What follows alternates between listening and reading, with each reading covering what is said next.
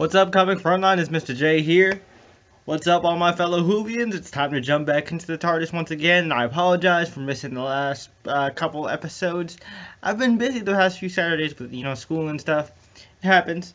But I am back once again for another Doctor Who Series 9 episode review, and this week we are going to be talking about The Girl Who Died, featuring a very special guest who I uh, adore because I'm a huge Game of Thrones fan. Um, Maisie Williams is in this episode. So this episode features the Doctor and Clara after the whole fiasco with the like those ghost alien things. I don't I don't remember what they were actually called. But uh, after that, they go and uh, they travel to Viking times, and uh, these Vikings are uh, being attacked. Basically, uh, they're um, you know in the beginning of the episode, the Doctor he tries to you know interact with the Vikings and by posing as Odin, and then like later on they see um, you know there's a projection of Odin in the sky, and um, he basically says you know he's gonna take their warriors to Valhalla, and uh, later.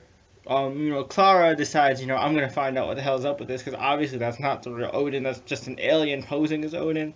So Clara and Maisie um, I mean, Clara and Ashildr, Maisie's character. Uh, Clara and Ashildr are uh, uh, get themselves transported to Valhalla, and it turns out to be, you know, this alien's like spaceship or fortress or whatever.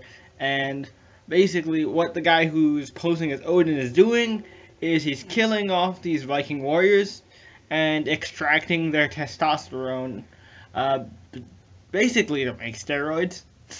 Uh, obviously, he does not know what testosterone really does to you because you don't you don't want to mess with that stuff.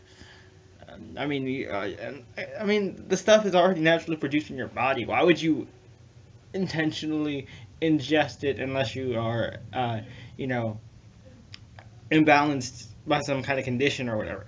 But that's just psychologist mode talking here. Anyway, um, back to the episode. So basically, you know, Clara is trying to convince them, you know, you know, you can just let us go and you can leave. You got what you wanted, now go, go, go. We can, like, there's no need to, you know, let this escalate. And Clara's actually doing a really good job, but then, you know, um, Ashildr, she's like, no, fuck that shit. I'm a Viking.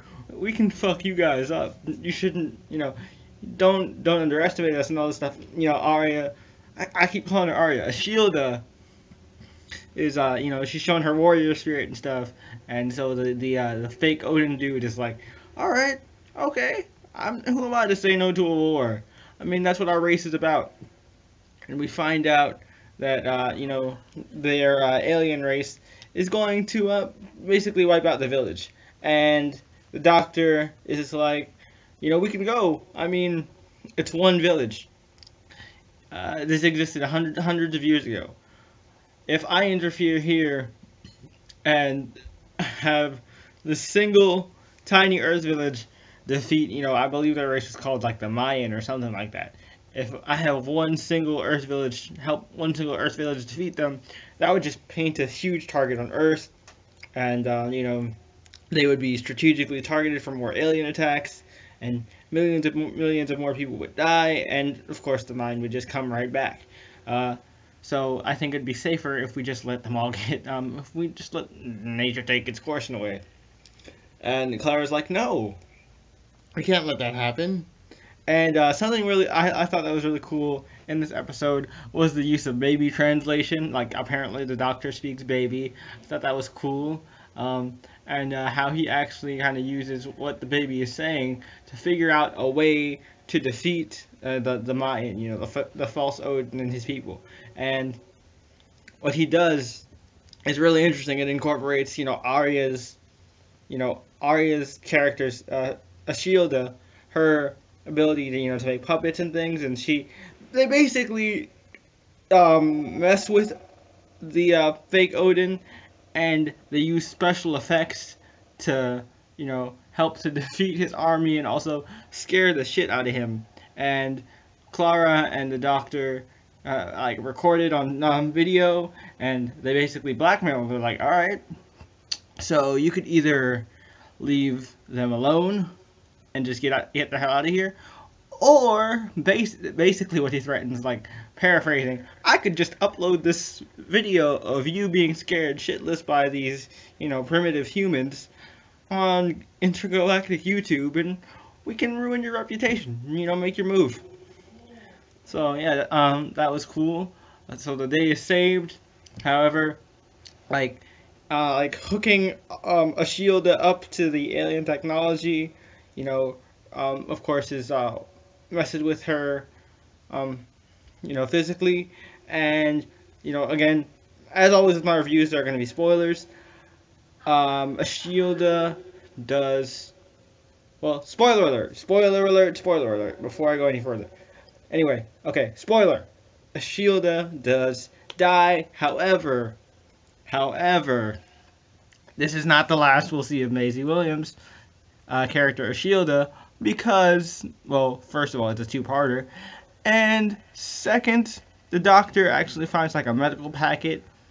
Uh, he kind of re-engineer, um, reverse engineers a medical packet um, created by those warrior people, and he gives it to Ashildr, making her pr- uh, pretty much immortal, effectively immortal, and uh, he gives her a second one just in case, you know, there's just some um that he, she finds somebody that she just can't bear to lose, and I thought that was really nice. It was really kind of symbolic of the Doctor, and like I like how he uh, comes to the realization. He's like, no, I don't just you know run. I'm I mean, yes, I'm tired of losing people, but I can't run away from my problems. And I thought that was a cool realization. Nice development for 12. Capaldi, nice job. I thought it was cool seeing how he remembers the origin of him, like why he chose this face and how he got this face, and um, and then so that was cool.